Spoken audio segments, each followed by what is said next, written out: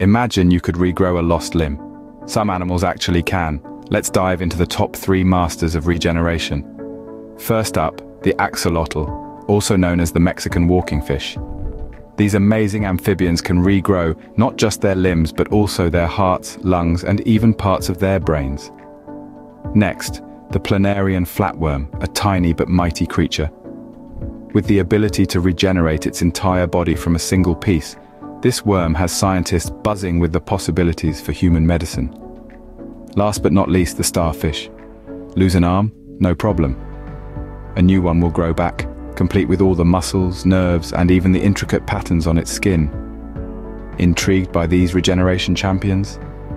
Hit like and comment below with which animal's ability amazed you the most.